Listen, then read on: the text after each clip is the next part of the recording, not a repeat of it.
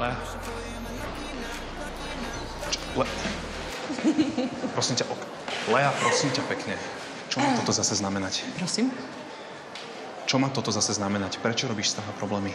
Ty nechápeš, že keby sme spolu niečo mali, tak som skončil? Tak si ani tu, ani na iných školách ani nepipnem? Ja vôbec neviem, o čom hovoríš. Vyzeráš byť nejaký taký napätý. Chceš víno na uvoľnenie? Nie, nechcem víno, chcem svoju knihu. Aha. O tomto tiež nič nevieš? Tabula rasa. Nepopísaný list. Začneme od znova, ale najprv nájdi ma. Hľadaj výhľad na ten strom, ktorý po vyznaní zničil hrom. Vtipné? Vtipné?